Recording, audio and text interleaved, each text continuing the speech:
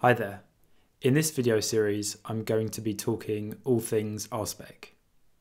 We're going to be building a Rails application, various Rails applications, and testing them with RSpec.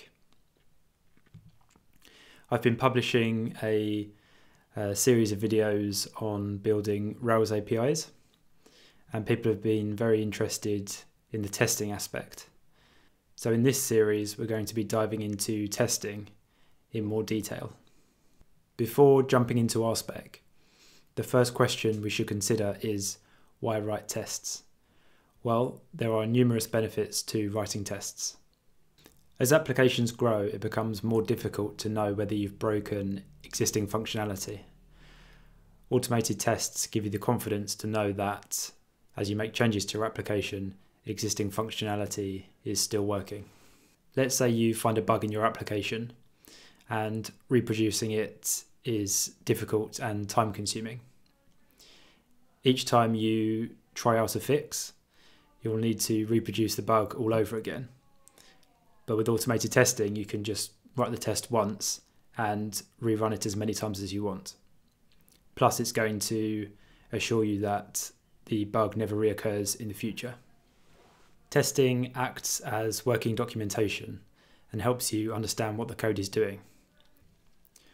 If you ever find yourself checking out a code base for the first time, have a look at the test suite and it will often tell you um, what the core functionality is, different edge cases, and it will help you understand how the application works. Testing also helps you think through problems. Initially, test driven development can be difficult and adds a cognitive overhead, but over time, when you get used to it, it can actually help you write code more quickly by helping you break down the problem into small parts. So, those are some of the benefits of testing. Now, let's talk about why RSpec as opposed to another Ruby test framework such as Minitest. Well, I think there are two big benefits to using RSpec. Obviously, there are more, but uh, here's two of the important ones. Firstly, RSpec is very popular. I've been a Rails developer for almost 10 years now, and the majority of code bases I've worked on have used RSpec.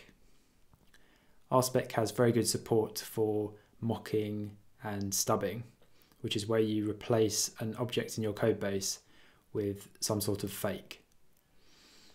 We'll cover this more in a future video, but uh, RSpec is one of the best test frameworks for this, and it really helps us write um, tests easily. Okay, now let's jump into some code. For the rest of this video, I'm going to write some Ruby code to help you get familiar with RSpec syntax. First, I'll jump over to the terminal and I'm going to make a new directory for uh, this little demo. I'll just call it RSpec test Then I'll cd into the directory. And I'm going to open this up in my editor.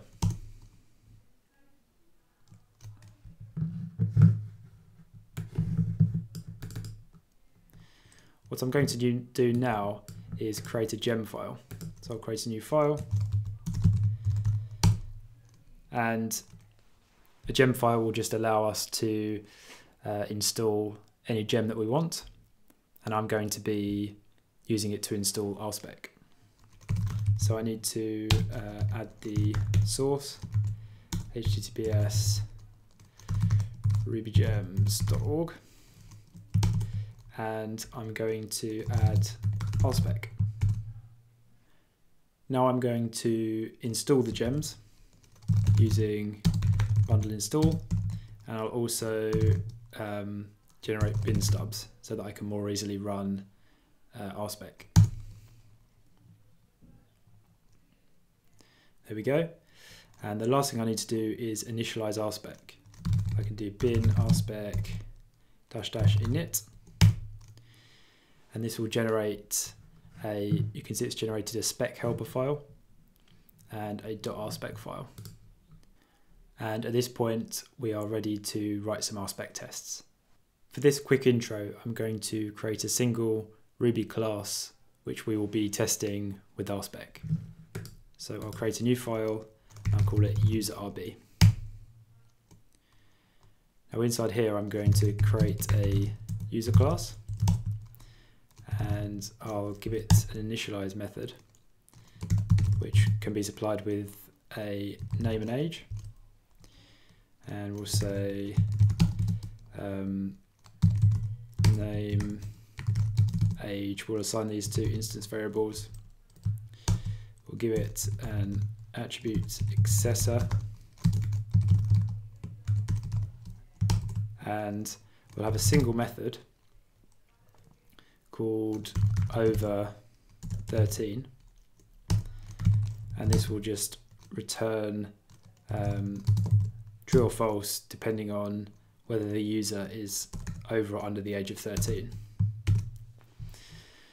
So this is just a, a silly example, but this is uh, replicating the behavior of some social networks where you need to be over the age of 13 in order to access it.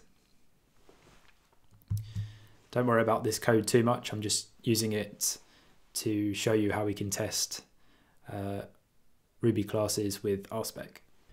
With our user class written, let's write a spec file for it.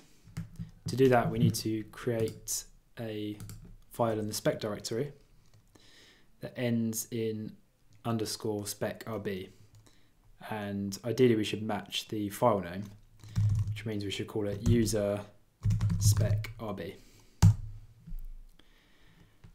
And what we need to do is require the spec helper and we'll also require um, the user rb um, file to include our user class. I'm just going to run this to make sure, there we go, so zero examples, zero failures, but the fact that it ran means uh, our includes are probably correct. Next, I'll create a describe block, uh, which will contain all of our RSpec testing logic. And in this case, I'm going to be testing the user class. Inside here, I can add our first test case using an it block where I say it does something, which will be the description of our test, and again a do end block. At this point, I can run the tests again via the command line, and you'll see I now get one example, zero failures, which means this is actually counting as a test. And it's being successfully uh, executed. Now it's not really a, a, test success because it doesn't do anything. Um, so let's let's fix that and actually write some logic here. So what does an RSpec test look like? Well, the core of an RSpec test is an expectation. And a basic expectation looks something like this. Expect 1 to equal 1.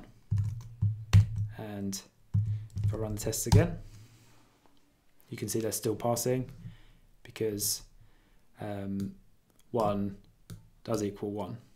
Now the RSpec DSL does take a bit of getting used to. It's all valid Ruby code, but RSpec uses some tricks to make the DSL as human readable as possible. I'd advise that you don't worry about it too much for now. Just try and follow the video um, and get used to it. And at a later point, if you want to dig into how the syntax how the syntax actually works, uh, you can do so. Now let's show you what uh, a failing test does. So if I expect 1 to equal 2 and rerun the tests, you can see I now get a failure. And you can see it says one example, one failure. And here we get the expectation that failed. And uh, RSpec, RSpec is telling us uh, it expected 2, but it got 1. Okay, Now let's write a test that actually exercises our user class. First, I'm going to instantiate a user instance and I'll provide it with a name and an age and I'll assign this to a variable user. Then I can say expect user over 13 to equal, uh, in this case, I'm saying that the user is 22, so it should equal true. And I can also change this test description to say um, it returns true when user is over 13. And I'll run the tests and this is passing because this is the behavior we'd expect. If I change this to false, then it's going to fail. There we go. And I can also write a test for the failing case, which would be returns false when the user is under 13. So now we have user um, Sarah. The name, the name isn't important, but just as an example, um, if their age is 12, we expect user over 13 to equal false. And there we go. Now we have uh, two example zero failures, and these are actually testing our user class. If I was to go over here and, for example, change this, now one of our specs is failing. Now, this RSpec code that I've written isn't particularly good. It doesn't scale well for large test suites, and we've only touched on some of the very basic uh, RSpec functionality. However, the goal for this video was just to give you a brief introduction. I hope you found this useful and will stick around for the rest of the video tutorial series. Next time we'll start building a Rails application and driving it via RSpec tests. Each step of the way we'll be diving deeper into RSpec. Thanks for watching and I'll see you in the next one.